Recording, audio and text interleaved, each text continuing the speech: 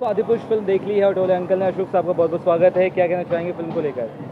Film को लेकर यह है कि जो थ्री में इसके जो बुकिंग है, अच्छे खासे हैं और पब्लिक इसे ज़्यादातर थ्री में पसंद करेगी लेकिन मैंने ठान लिया था कि आज मैं ये मूवी थ्री में नहीं देखूँगा, क्योंकि जय श्री राम श्री राम के बारे में जो है, रामायण की जो है, बहुत साल पहले जो श्री जो रामानंद सागर जी ने जो मतलब बनाई थी, आज जो है अलग तरीके से हमें ओम राउत सर ने ये मूवी को जो मतलब उतारा है, बहुत अच्छा लगा, मैं देखा।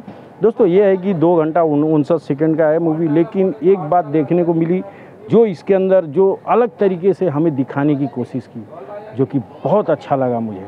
जी। एक्टिंग की तौर पे बात करें तो प्रभात सर है सनी सिंह है लक्ष्मण के रोल में। देवदत्ता नागे है कृति सनन है सैफ अली खान है। कैसे लगा इनका काम आपको? देखिए मुझे तो सबसे ज़्यादा जो है ना इसके अंदर जो हनुमान के रोल रोल जो काम किए हैं और दत्तात्रेय नागे। नहीं नहीं देवदत्ता नागे। हाँ देवदत्ता नागे। वो और सैफ अली खान का जो मतलब जो हाइट जो बताया ना उसमें मुझे बहुत स्टार्टिंग से ही मुझे इतना ये हँसी छूटा था कि क्या उनकी हाइट और क्या मतलब जिस हिसाब से दिखाया है ना ओम राउत ने बहुत अच्छा लग रहा था। अच्छा सैफ अली खान कई पोस्टर में नज़र नहीं आया क्या लगता है?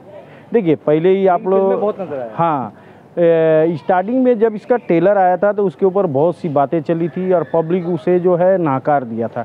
इसलिए जो है सैफ अली खान का जो है कहीं भी पोस्टर में उनका पोस्टर नहीं लगाने की वजह से मतलब उन्होंने नहीं चाहा कि और वापस कुछ बातें हो इसलिए उन्होंने नहीं लगाया। लेकिन ऐसी कुछ पूरी मूवी में देखने को नहीं मिली कि कुछ गलत हुआ है। अच्छा बहुत दिन बाद आपने डीटी गैलेक्सी में फ़िल्म देखी है सुबह बारह बजे का शो हाँ। कैसा रहा आपका माहौल और कैसा आपको कैसा लगा? देखिए ये है कि जैसे लगा कि मैं जो है वापस अपने घर में आ गया हूँ। और ये है जो कि एक एक एक इतिहास का जो है एक अपने पन्ना है और एक अपने धरती का जो इतिहास है। और इतिहास का जो चीज़ है वो ऐतिहासिक जो है थिएटर में ही देखना चाहिए।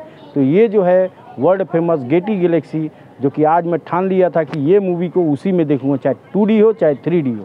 तो परफॉर्मेंस किसका सबसे अच्छा लगा? देखो मुझे ज़्यादा ज़्यादातर अच्छा है ना वही बजरंग बली का। चलिए बात करते हैं डायरेक्शन की ओम राउत का काम कैसा था?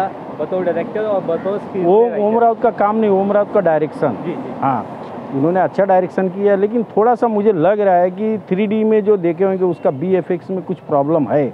इसके लिए मैं देखा नहीं। देखिए सादा सिंपल कैसा है?